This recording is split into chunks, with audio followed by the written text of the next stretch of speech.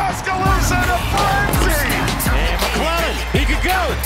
Burst of speed. Alabama opens the Rashinda Reed era with a victory.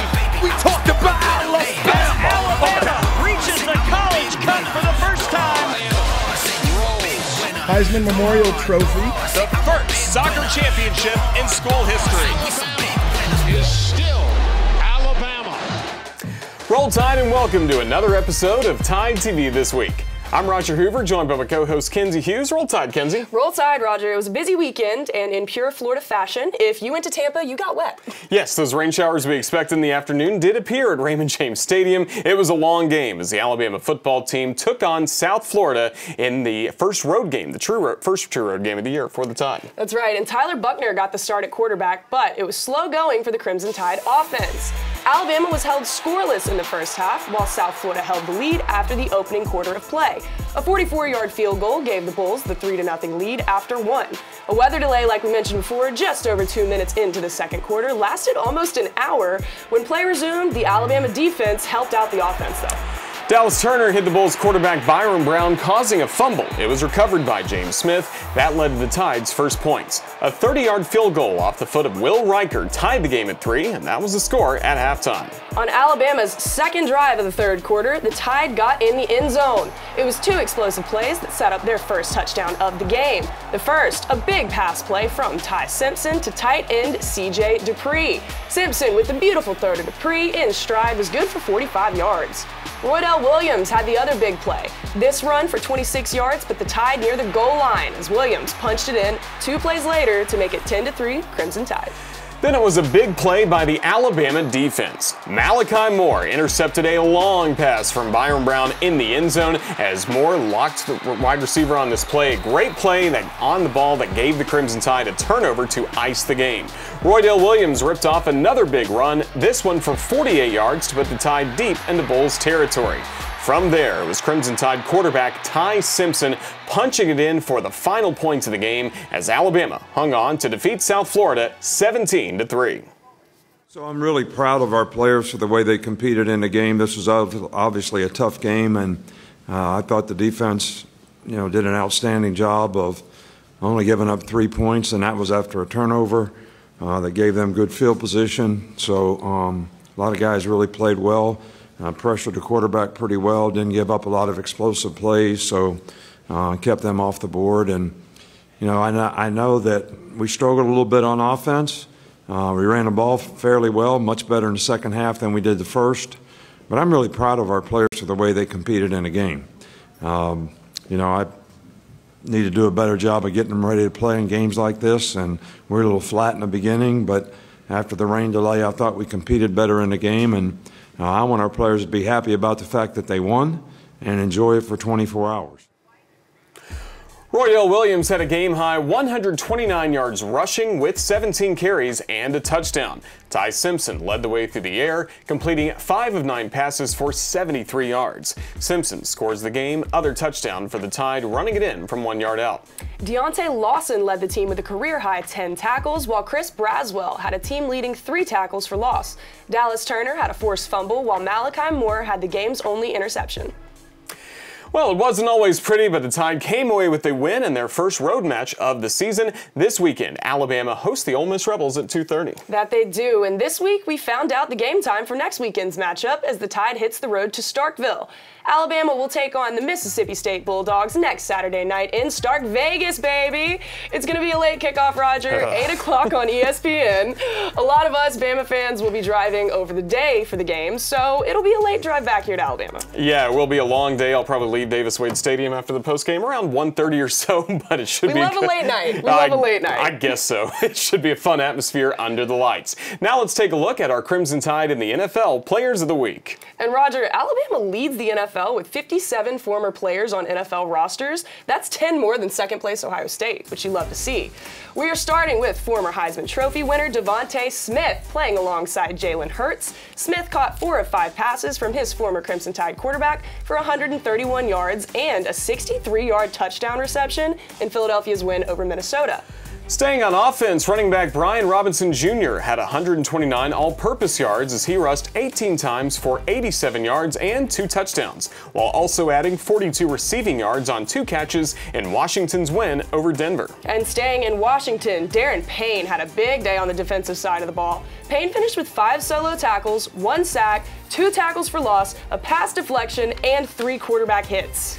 And for the Dallas Cowboys, Trevon Diggs had a tackle and an interception in the Cowboys' win over the New York Jets. And a huge congratulations to John Metchie. Metchie missed his entire rookie season due to battling leukemia, and on Sunday, he returned to the field recording his first NFL catch, a 17 yard reception. It was great to finally see him out on the field again. Congratulations, John. We're rooting for you here, man. So we've already talked about Alabama's win over South Florida on Saturday. When we return, we'll take you behind the scenes for an all-access look at the Tide's second win of the season.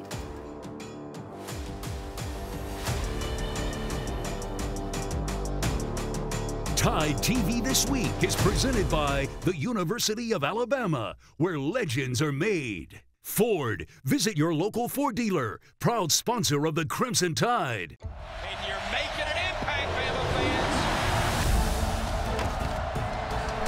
Of Tuscaloosa. What a finish we're in store for. If you're looking to visit, visit this stadium. They got to figure it out here. It's more than a buzz at Bryant Denny Stadium. It's electric. Here comes a time. I'm telling you, this place is rocking right now at Bryant Denny.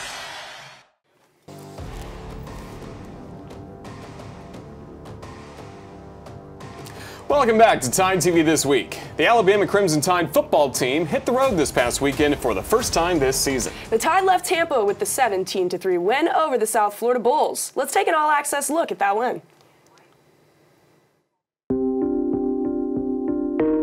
What an opportunity for USF with the 10th ranked Tide in town to take them on.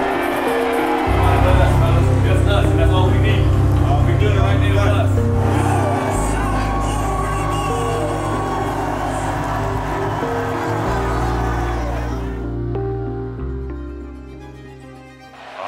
Will start with the football, and they'll start at their own 25-yard line. There goes Jase McClellan, bouncing it to the numbers.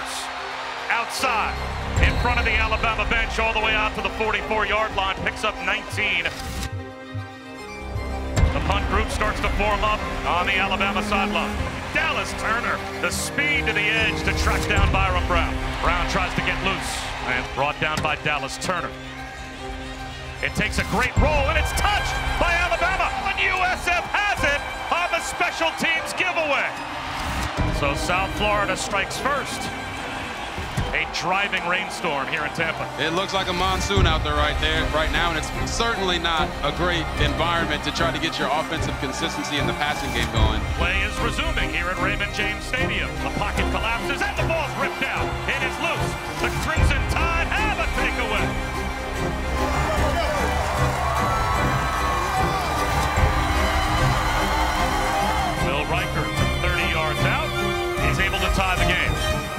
was supposed to be the bounce back get right game off the Texas loss for Alabama, that is not what we have seen so far.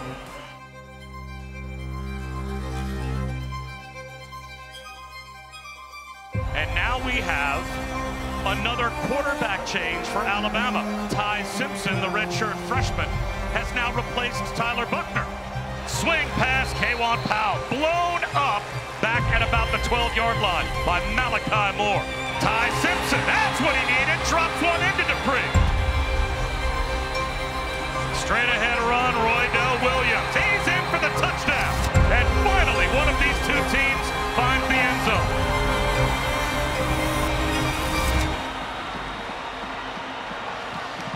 Play action again, a shot into double coverage, and it's intercepted in the end zone. Malachi Moore floats under the shot from Byron Brown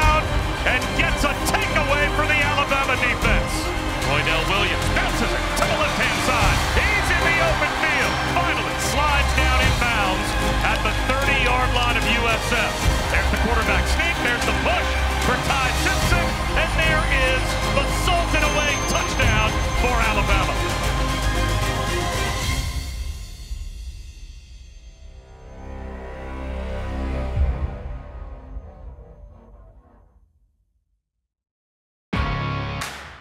Legacies rise from purpose. They're developed through passion, determination, and the power to follow through. This is where ambition meets opportunity. What happens next is up to you. The University of Alabama, where legends are made.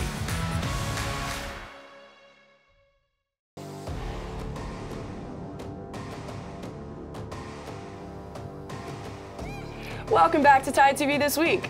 After a road trip to Tampa this past weekend, the Alabama Crimson Tide football team returns home to Bryant-Denny this Saturday to take on Ole Miss. For a preview of the Tide and the Rebels, our Christopher England joins us now. Christopher? Alabama opens SEC play this weekend as the Crimson Tide welcomes the 15th ranked Ole Miss Rebels to Bryant Denny Stadium. Alabama has won seven in a row against Ole Miss and leads the all-time series 58 to 10, including a 29 2 record over the Rebels in Tuscaloosa. Last season in Oxford, Ole Miss jumped out to a 10 0 lead, with the tie trailing 24 17 late in the third quarter. Quarterback Bryce Young connected with Ja'Corey Brooks for a five-yard score to tie the game at 24. The Alabama defense held in the fourth, and Will Reichard hit two field goals to secure the 30 24 win. The last time the Rebels came to Tuscaloosa two years ago. Here we go. Get your popcorn ready. Coach Kiffin and the Rebels got their popcorn ready but it was the Tide that provided the entertainment. Alabama dominated Ole Miss. Brian Robinson Jr. rushed for 171 yards and four touchdowns as the Tide led 42 to 7 midway through the fourth quarter en route to the 42 to 21 win.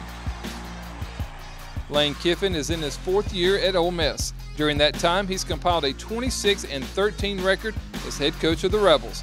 He's very familiar with Coach Saban and the Crimson Tide, having served as offensive coordinator in Tuscaloosa for the 2014 through 2016 seasons, helping the Tide win the 2015 national championship, a 45 40 win over Clemson.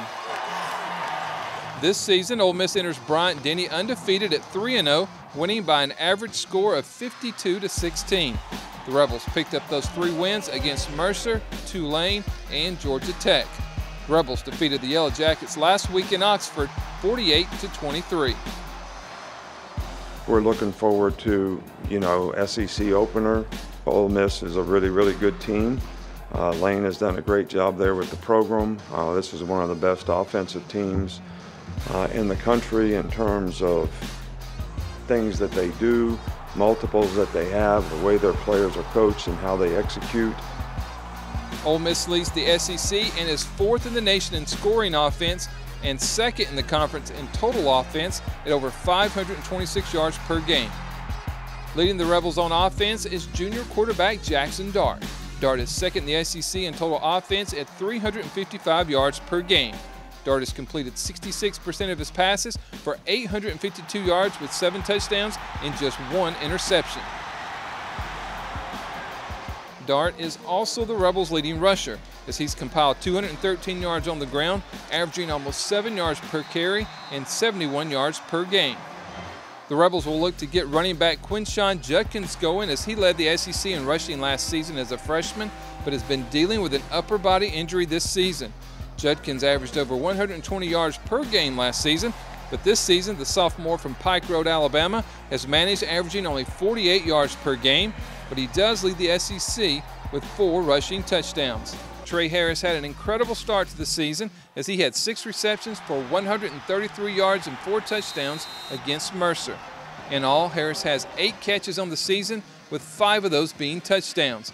But he was injured in the first half of game two against Tulane and didn't play last week against Georgia Tech. In his absence, Jordan Watkins has led the Rebels receiving corps, averaging over 96 yards per game with a touchdown. There are several former Alabama assistant coaches, grad assistants, and even a former player under Coach Saban on Lane Kiffin's coaching staff. That includes the defensive coordinator for the Crimson Tide for the past five seasons until this year.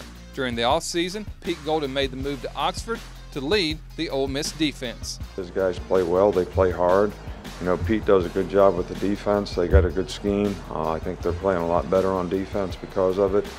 And um, they play with a lot of inspiration and they, they do a good job of executing the scheme. Alabama is 15 and 1 in SEC home openers under Coach Saban, winning by an average score of 37 to 14. The Crimson Tide also owns the best home winning percentage in all of college football at 839. Kickoff is scheduled for 2:30 in Bryant-Denny Stadium. It's the SEC on CBS Game of the Week. Stay with us. We'll have more Tide TV this week coming up next.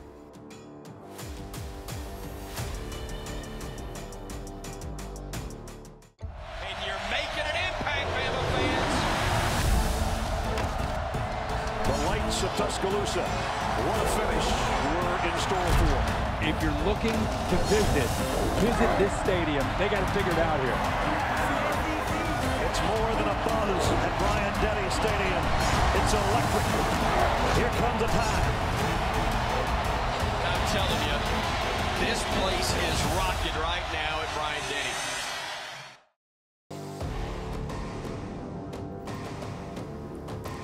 Welcome back to the Crimson Tide Production Studio. I am Kenzie Hughes, he is Roger Hoover, and this is Tide TV This Week.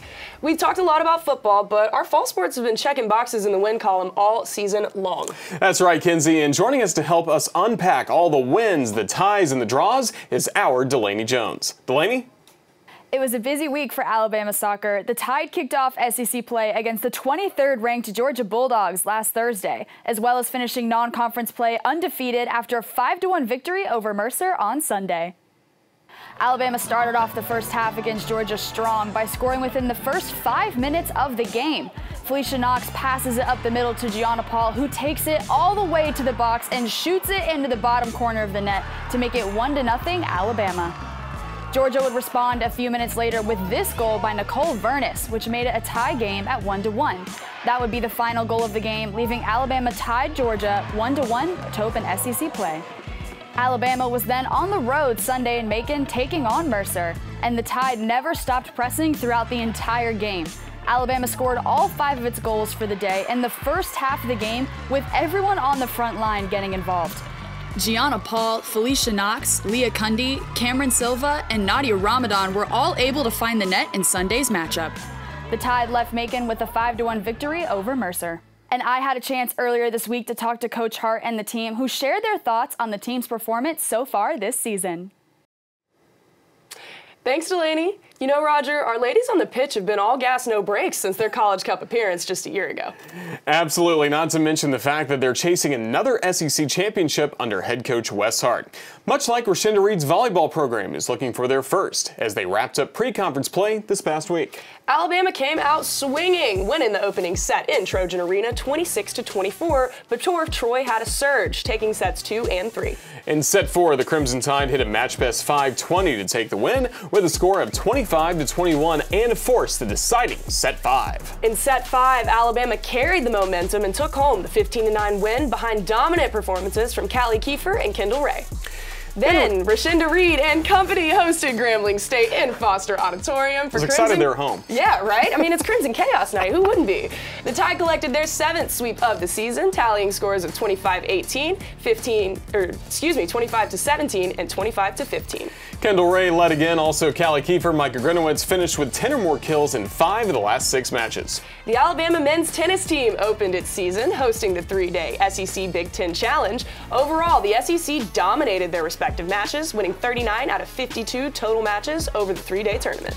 Alabama freshman Andre Zimnock tied as the overall winner after going undefeated with three singles and three doubles wins in his first collegiate match. Sticking to the hard court, the women's tennis team began their season on the road at the Debbie Southern Furman Fall Classic this past weekend, finishing the tournament with five doubles and nine singles wins. Ludmila Binchak, ranked 46th overall, led the Crimson Tide after going two of three in both singles and doubles, including two victories over ranked opponents.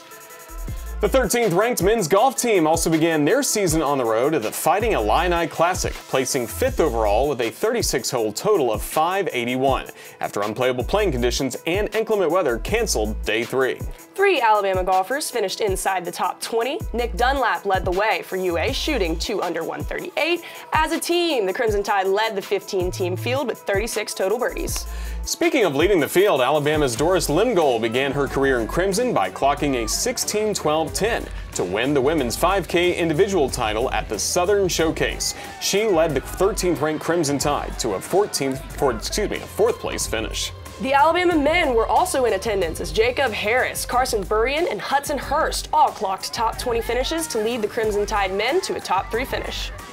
It was quite the performance from Dan Waters' squads, and how about the freshmen stepping up huge in their first race with Script A?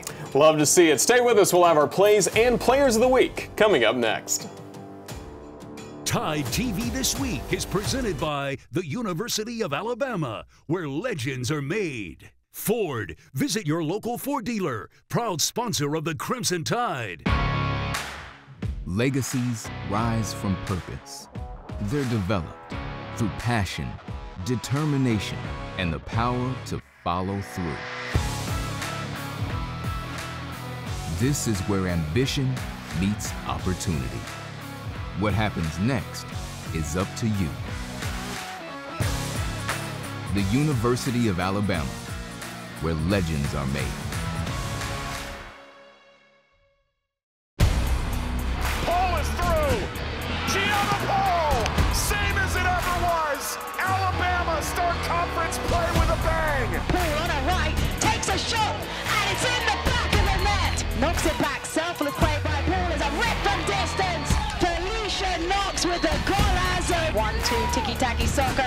Distance. It's beautiful. Here is Ramadan outside the box. Spins it in. Wow. Simpson looking downfield. Got man tight end. Catch made to three. 45. Drug down at the 40. The best gain of the day. Snap. Handoff into the end zone. Touchdown Alabama. Finally. Again the handoff. Williams bounces it left. Bounces across the 30. Foot race. Midfield. 45. 40, stops, gets knocked down. Up play action again. Brown stepping up, looking deep. He doesn't have anybody there except Malachi Moore. Interception, touchback. Those are our plays of the week brought to you by Legacy of Hope. Now, let's take a look at our players of the week. Freshman Andrea Zimnock finished the SEC Big Ten Challenge tied for the overall winner, finishing undefeated with three wins in both singles and doubles matches. And in her first career race, Doris Lemngole finished with a first place individual title in the women's 5K after recording a time of 16:12:10 at the Southern Showcase. Congratulations to our players of the week. That's all the time we have for this week's episode of Tide TV This Week. We hope you enjoyed it, and we look forward to seeing you back right here again next week. Have a great week, everyone. Roll Tide. Roll Tide.